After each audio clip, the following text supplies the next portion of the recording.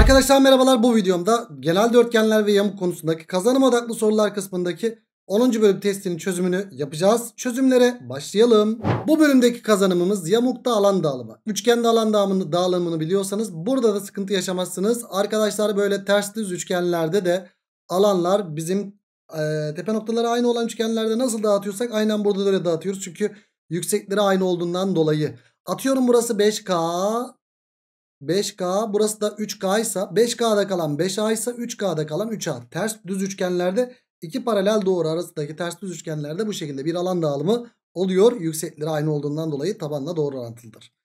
Evet burada aynı şeylerden bahsetmişiz. Bakalım. Evet burada da aynı şeylerden bahsetmişiz. Şuraya bakacak olursak da S1 bölü S2 burada böyle bir şey vermiş de bu formüle gerek yok arkadaşlar. Yükseklikler aynı ya zaten alt taban artı üst taban çarpı bölü 2'leri yazdığınız zaman zaten bu sonuca ulaşırsınız. Ekstra bence bence hani şu tür ya da şu tür şeyleri ekstradan kafanıza koymanıza gerek yok. Siz üçgende alan dağıtmayı ve ters düz üçgenlerde de üçgende alan dağıtır gibi burada alan dağıtmayı bildiğiniz zaman sıkıntı yaşamazsınız. Hadi bakalım görelim gerçekten sıkıntı yaşayacağız mı yaşamayacağız mı? Birinci soruyla başlıyoruz arkadaşlar. Birinci soruda 4'teki alan 4A ise 9'daki alan 9A mıdır? Evet tüm alan 13A eşittir 130 ise A'yı buradan kaç buluruz? 10 buluruz. Alan ABC isteniyor bizden. 4A isteniyor. O da kaç yapar? 40 yapar. Cevabımız böylelikle Akçay yaptı arkadaşlar. Geldik biz ikinci soruya. Hocam bu ne böyle? Bu ne böyle? Hiçbir şey yok burada. Bir üçgen. Üçgende alan soruluyor burada. Üçgende alan konusunu düşüneceksin o zaman. Bırak yamuğu bir kenara. Ne yapacaksın burada? Hocam iki paralel doğru bir üçgen varsa şekilde üçgen sor, üçgende alan sorularında şekilde 90 derecede özel bir açı varsa üçgen alanı %99.9 taban çarpı tabana ait yüksek bölü 2'den çıkar diye onlarca kez, yüzlerce kez, binlerce kez söyledik ve on binlerce kez de söylerim de çünkü gerçekten böyle arkadaşlar. Ama hocam burada hiçbir kenar yok bu üçgende. Aa, o zaman dur başka şey düşüneceğiz. Aa, şuraya baktığımızda iki doğru paralel mi? Paralel. Paralel iki doğru arasında bir üçgen varsa tabanı sabitleyip tepe noktasını istediğin yere de oynatabilirsin. Hop en köşeye çeksek. Evet taban bu tepe noktası bu olacak şekilde üçgen oluşturacak olursan bu üçgenin alanıyla daha önceki alan aynı mı? Aynı. Bak gerçekten de taban 10 üçgen 13 tabanına ait yükseklik buradan çizilir. O da kaç yaptı? 8. Ya yine taban çarpı yükseklik bölü 2'den çıktı mı? Çıktı. 13 çarpı 8 bölü 2'den Kaç çıkıyor arkadaşlar? 4 kere 3 12 4 kere 1 4 52 mi çıkıyor? Evet cevabımız böylelikle 52 çıkar. Yani ikinci soru Edremit oldu. Geldik 3'e. Oranlama var. Alan dağıtacaksın kardeşim. BE ve EC.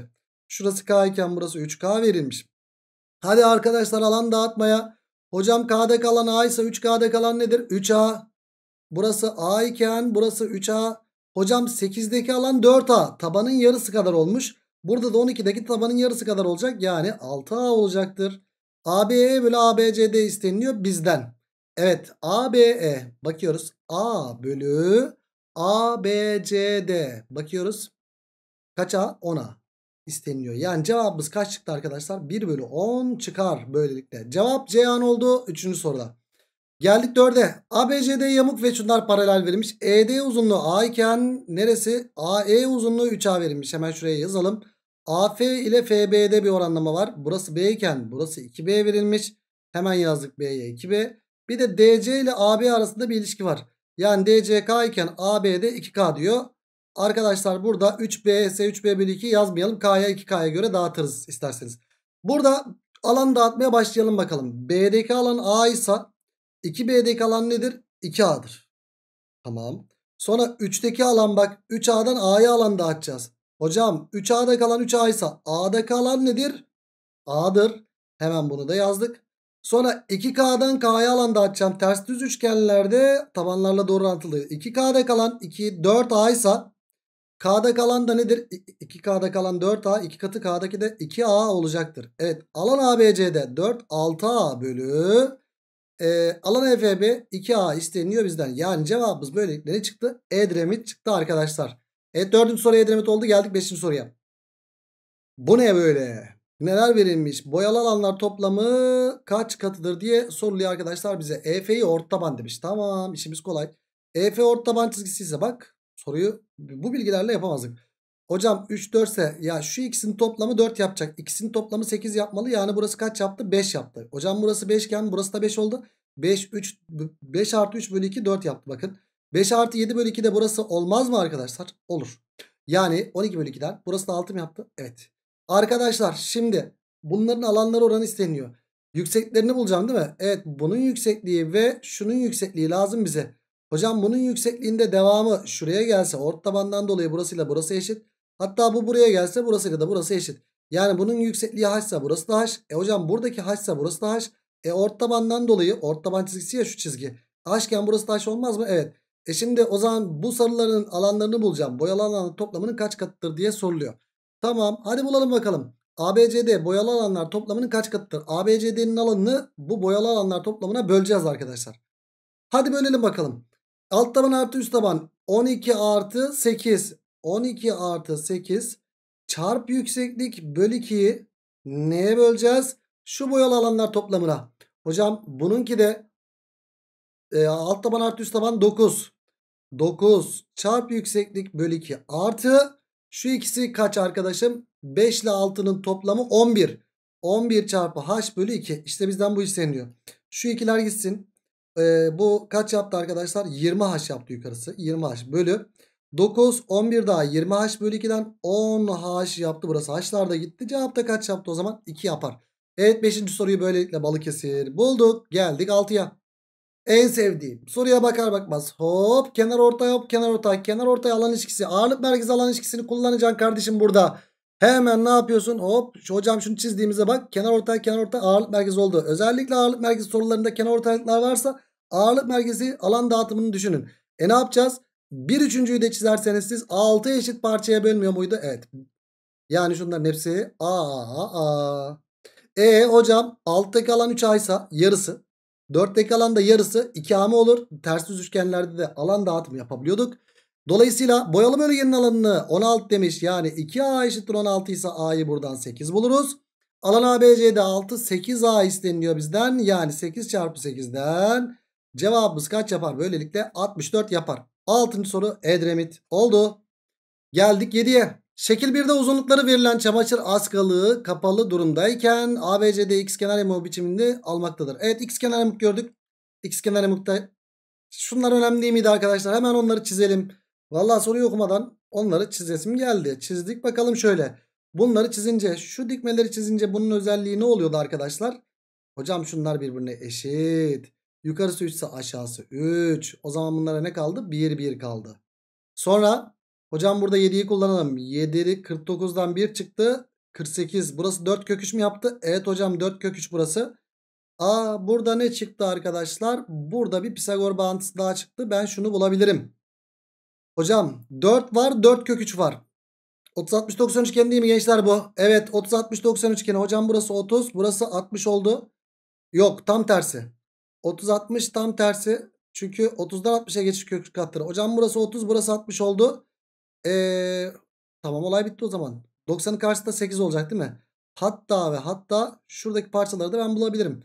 Arkadaşlar burası 60 burası da 60 değil mi? Çünkü şu parçalar x kenar yamukta birbirine eşit. Şu parçalar da birbirine eşit değil mi? Aynen öyle. Şuraya baktığım zaman 60 ise burası da 60 burası da 60 bir eşkenar üçgen çıktı. Burası beşgen. Şurası da 5 burası da 5 oldu. E hocam aynı şekilde burası 60 burası da 60 burası da 60 oluyor mu? Oluyor. Eşkenar üçgenden burası da 3 burası da 3 oldu. Güzel şeyler bulduk gençler. Şuradaki açılarımız 60'ar derece yazalım onu. Şunları 5 5 5 bulduk. Bunu da yazalım.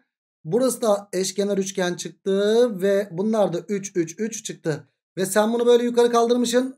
Burası da 7 birim 7 birim olduğunu biliyorsun. Şimdi ne yapacağız arkadaşlar? Alan KDC alttaki alan bölü alan KDC yani şuradaki alan bölü şuradaki alan isteniliyor bizden arkadaşlar.